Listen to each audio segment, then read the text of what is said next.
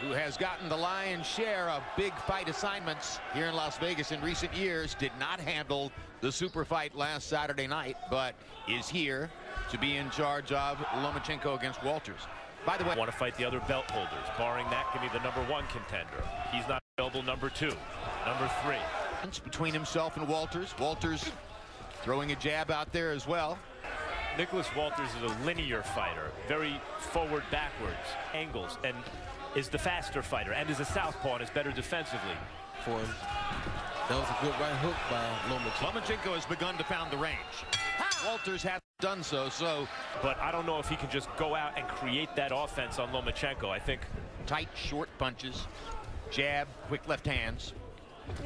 Getting jumped. there close. Sooner or later, though, oh.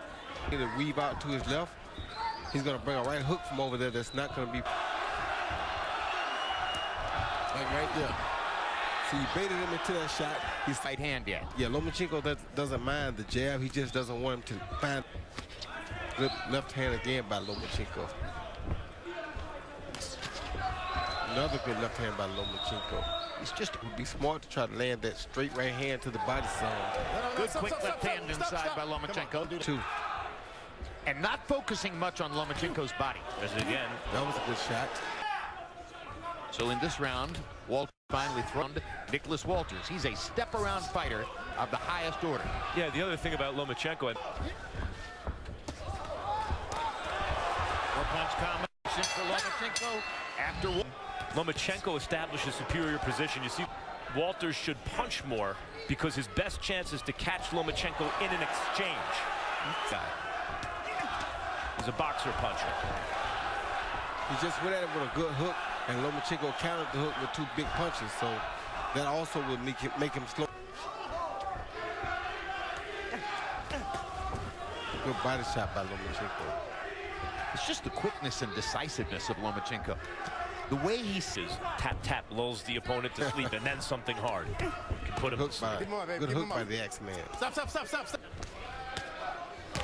Everything Lomachenko does is predicated on position in the ring. He so easily establishes position with his footwork. But if you're searching for the right to Gary Russell Jr. Gary Russell Jr. is a special talent. Established himself as a fighter that fight fans want to see and think very highly of on the kind of outskirts, if, you know, if 10 pound for pound. And Lomachenko, as what he wants to do. Well, he's almost toying with him. He move, moves around him like that to a, a point where Nicky is less likely to throw punches because he doesn't see anything. Lomachenko's giving him some opportunity by the pace that he's working at, mastery over distance, that I don't see a lot of opportunity. Punching until he finds an opening. With Lomachenko, that he punches until he finds an opening. Lomachenko dropping his hands. I mean, how many what this man can do?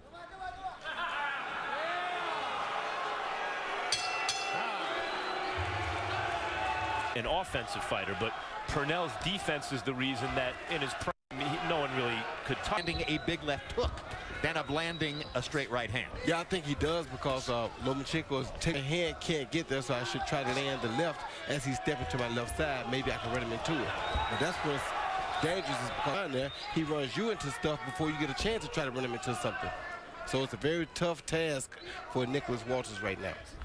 Good body Left talk to the body. Bag, Roy. That's him.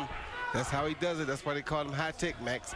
He makes guys like that. I told you that shot was going to come soon because he's over on that left side, and Nicholas is not really prepared, thinking that he's too far away.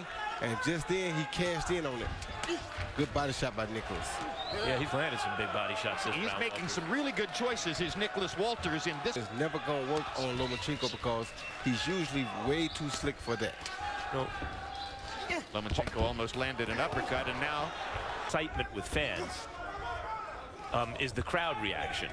Fighting in front of a small audience here, this fight so far is less than exciting because it's so one-sided. If this was a huge kind of pay-per-view extravaganza, what Lomachenko is doing would be highlighted by the fact that he's doing it against this 60 to 54, Vasily Lomachenko. Wasn't a big puncher, but a beautiful boxer. Yes, he does have a lot of pep in him. Uh, but a better Pernell dominated. A lot of times it was ones and one twos. Yeah, he's just busier than Brunel. What I need is we have a him. Well, and our our great Spanish interpreter, Jerry Olaya, has the weekend off. Good body shot. Partially blocked by Walters. But I think at the same time in Walters' corner that there's a mixed message.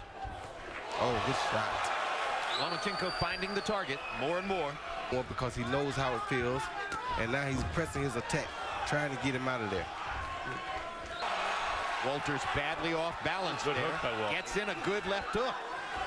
Still missing with the right hand. And he's taking his best weapon away from him. Counter right hand away. Like that right there. Oh my God! I mean, he's toying with Nicholas Walters. This is amazing. What, uh, what's going to be really funny is the next time Walters is in with a top fighter and scores a knockout. Right, it really is.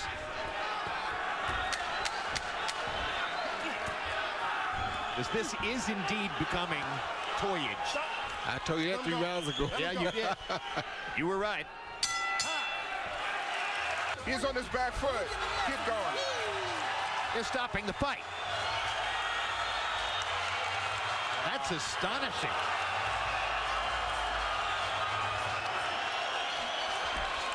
Nicholas Walters and his corner. Let's go to Michael Buffer for the official particulars on the TKO. Ladies and gentlemen, the official time comes at the end of round seven as the challenger informs referee Tony Weeks he is unable to continue. The winner by TKO victory and still WBO super featherweight champion of the world, Vasil